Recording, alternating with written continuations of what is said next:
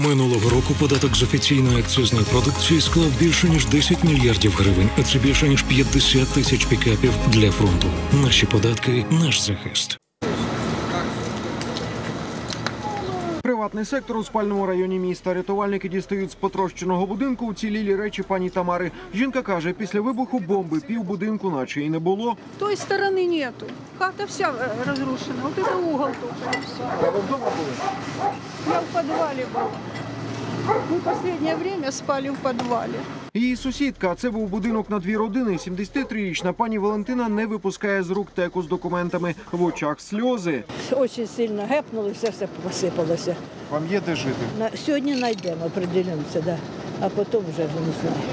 Одна з російських авіабомб гепнулась за будинком довкола епіцентру сама руїна. Раптом з-під завалів чується котяче нявкання. Дочка старенької пані Тетяна кинулася шукати маминого улюбленця.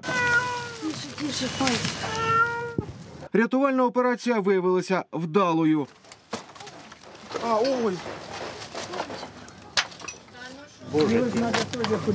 Антон озвався показати нам наслідки терористичного удару у будинку 80-річного дідуся його дівчини. Старенький каже, дивом не постраждав, хоча вибухнуло за десяток метрів звідси. Він в туалеті був, там не вікон, нічого, тому там і просидів.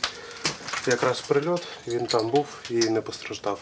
Натомість у будинку потрощений дах, вікна і стіни. Ось вікно, двері теж була вибита, підняли, щоб пройти. І поки ми фільмуємо це понівечене обійстя, раптом спалахує будинок, на який припав основний удар.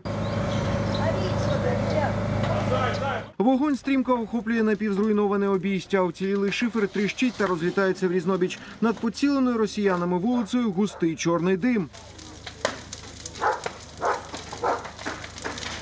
Усі чекають на надзвичайників.